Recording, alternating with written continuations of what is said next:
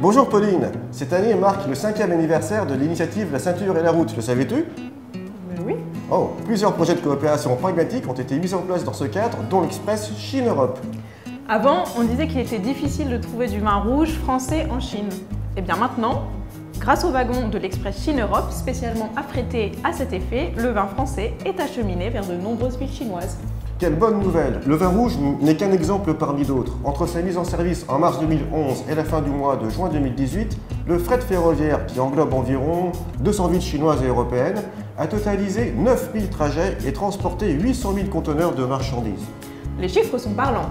Prenons l'exemple de l'express Chine-Europe qui part de Chengdu. En 2013, 31 trains ont été mis en service. À la date du 28 juin 2018, ils avaient déjà effectué 2000 trajets.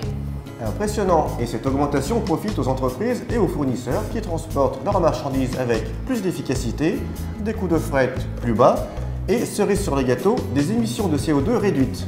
Puisque je travaille dans une entreprise qui importe du vin de Bordeaux et depuis quelques années maintenant on utilise la, stratégie de la, One Belt One Road. Alors c'est la ceinture et la route. C'est pour euh, importer nos, nos vins euh, par le train. C'est une ligne de train qui existe donc qui relie l'Europe à la Chine, notamment Chengdu qui est une ville de départ. Et euh, donc c'est une véritable opportunité pour nous puisque ça, ralentit nos, je veux dire, ça, réduit nos, temps de transport par deux, puisque en un mois on peut importer nos, nos vins, alors qu'en utilisant le bateau en, ça prend un peu plus de deux mois. 相比起这个以前的空运，现在在这个物流这方面呢，可能会降低了百分之七十左右的成本，运输成本这块儿。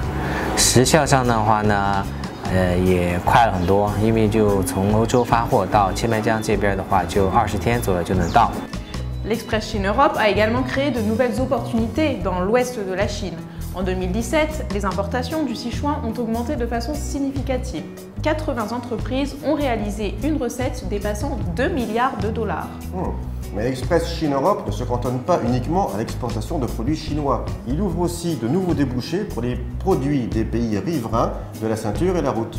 Il permet en outre d'introduire des produits européens en Chine 你比方说，我们有一家叫古颂的一家做酒庄的，他们就来自法国，他们的这块的那个酒的品类和品质全部源自我们在法国当地的一个呃非常具有特色的他们的一个当地的一个葡萄酒酒庄。然后过来的，我们通过跨境电商运来过的整体的这个应该说货物的品质啊品类来说的话，非常具有特色，而且它的这个价格呢也是非常具有优势的。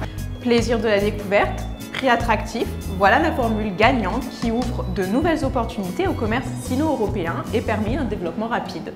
C'est d'ailleurs pour cela que certains l'appellent l'express de la richesse. Eh bien, notre émission d'aujourd'hui touche à sa fin. Merci pour votre attention et à bientôt. À bientôt. Zaijian.